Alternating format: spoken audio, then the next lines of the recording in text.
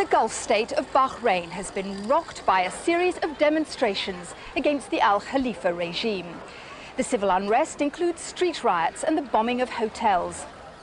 Neighbours of Bahrain are nervous that unrest could spread across the region. On the tiny island state, repression has spawned a climate of fear. And as Sue Lloyd Roberts discovered, any filming of the opposition must be covert.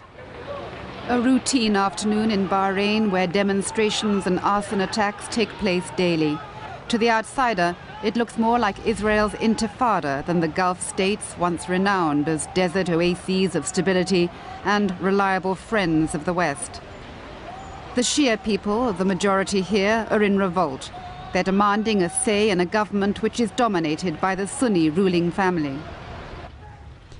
It helps to dress up as a local and you have to entrust yourself to an opposition network that operates in devious ways in a country where scenes like these are strictly out of bounds to journalists and people are imprisoned simply for talking to the BBC. Within minutes of any trouble, the area is cordoned off by riot police, thousands of whom have been imported from the Indian subcontinent to restore order to an island the size of Singapore. Their commander is British, their approach thorough. They round up anyone they find, beating them as they load them onto jeeps headed for brutal interrogation and jail. In another part of the village, they were just as active. This hey. one is my grandfather. Yes. The police came with tear gas and rubber bullets, the boy says. His grandfather's age was no defense. Because he, because he was trying to protect my... They shoot three, three I, I think three, three guys who's running here. But this was about uh, five meters only. By what's called Shawzans, I, th I think. And so what is this? Can you show us what this is? What, what are we going It's a rubber, a rubber shot, this. Johnson! They showed me how the police rampage through their house, and although everyone's keen to tell the story, they're fearful of reprisals, and I'm begged to conceal the faces and voices of those who speak to me. They destroy everything here. Look, they destroy everything without any reasons. How many policemen were there? About 35. 35? Yes, maybe more even, and you can't say anything. If you want to see anyone, they'll just hit you and hit you and, and continue hit, hit you. If you are a child, woman, old man, they don't care. It's behavior that fuels fury and increases demands that the government here should be made accountable. Even small children who get in the way of the intruders are kicked and beaten. They want to silence our voice. They want to steal our rights. All you want is a parliament. It's the right of everyone in this land. Only through parliament will we get our rights and will the crimes of the government be discovered. Bahrain got rich on oil and foreign banks and businesses flooded in to enjoy the boom. Links with Saudi Arabia have always been close, even more so after the Saudis paid over a billion pounds for the 18-mile causeway that now links the two countries, and the Saudis are watching events in Bahrain with alarm. Sheikh Al Khalifa runs the place like the boss of a large company. One brother is prime minister, the interior minister is his cousin. His power is absolute. He dispensed with the constitution and parliament over 20 years ago, to the despair of former MPs. Since the parliament was dissolved, there is no respect for human rights. We are living in complete state of fear. We do not want to change the government. We just want political reforms. We want to stop corruption, to have social justice, and a fair distribution of wealth. Tales of the royal family's immense wealth and paranoia are given credibility by the palaces, dozens of them, which litter the country. You can be arrested for simply walking on the road outside the Emir's palace, and no Bahrainis are employed inside, only foreigners. Outside, the soldiers guarding the palaces are from Pakistan. Foreign workers were employed at every level, a system that served the country well when there was plenty of oil wealth and the locals didn't fancy work. But Bahrain's oil will run out at the end of the century, and still the foreigners are being invited in, leaving the locals untrained and increasingly ill-equipped to face the future.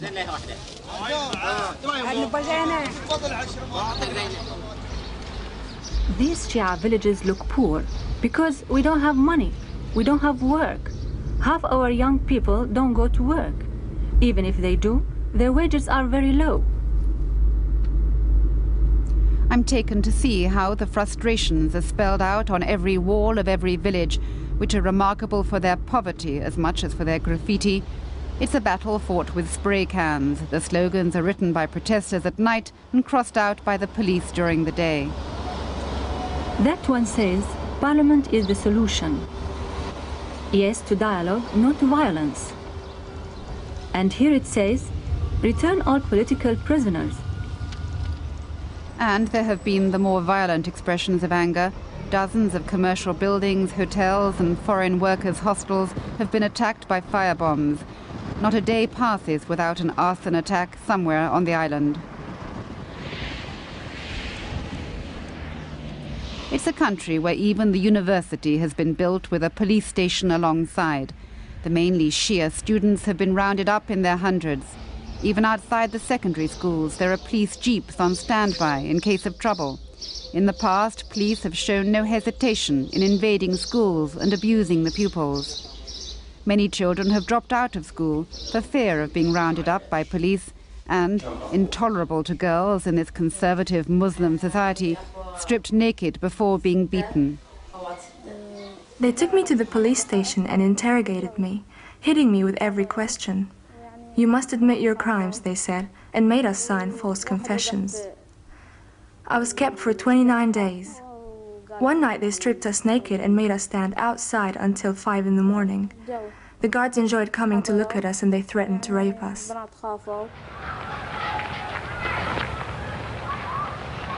In the late afternoon, the protest is renewed. With so many young men in jail, the demonstrators are getting younger, and as news of their treatment by the police gets around, more women are joining in.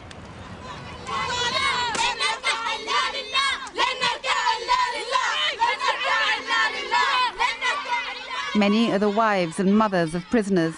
We want to be martyrs for the cause, their slogans say, and it's sentiments like these that encourage the government to warn the West that giving in to the opposition will bring about another Iran in the area. The women members of the family of the imprisoned religious leader Sheikh al-Jamri have become the focus of opposition life.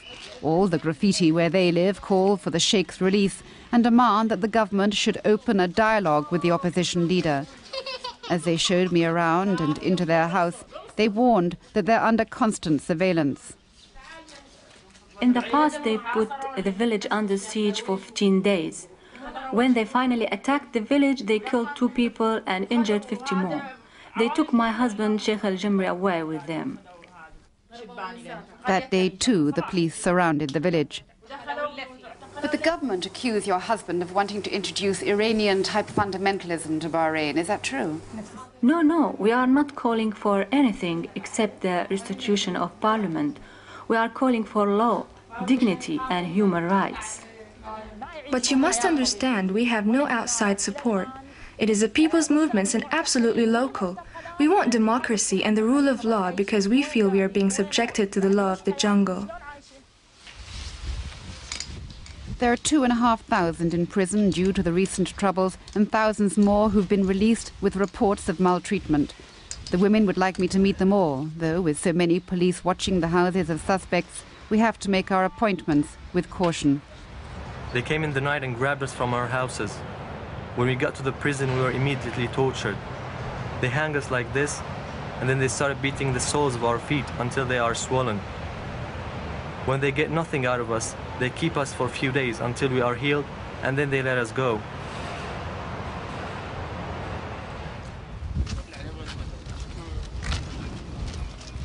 There have been 20 violent deaths in Bahrain in the last two years, 10 of them judicial executions. The latest, 28-year-old Isa Qambar, by firing squad. The law says that no more than five people can meet together. Even these groups of mourners at the martyrs' graves are illegal. And I'm warned to retreat to a safe house. But even here there's a risk of arrest. The man who took me in said that if they found him helping me, the police would send him and his entire family to jail.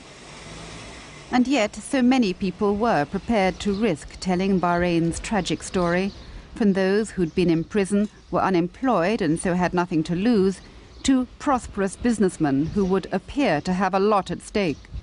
I've got nothing left to lose. I've lost everything. You name it. My passport is nothing. They can have it at any time. My job? They can close my office and send me away. My sisters are all in jail. Their sons are in jail. My brothers, they are all in jail. They can take my wife at any time. So, I have nothing left to worry about.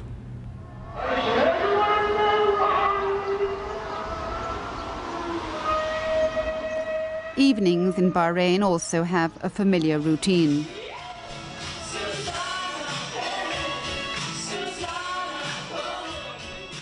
In the bars, the Saudi tourists enjoy pleasures that are forbidden in their own country, confident in the knowledge that their government, wary of their own opposition, is pouring money into Bahrain to help put down the protest.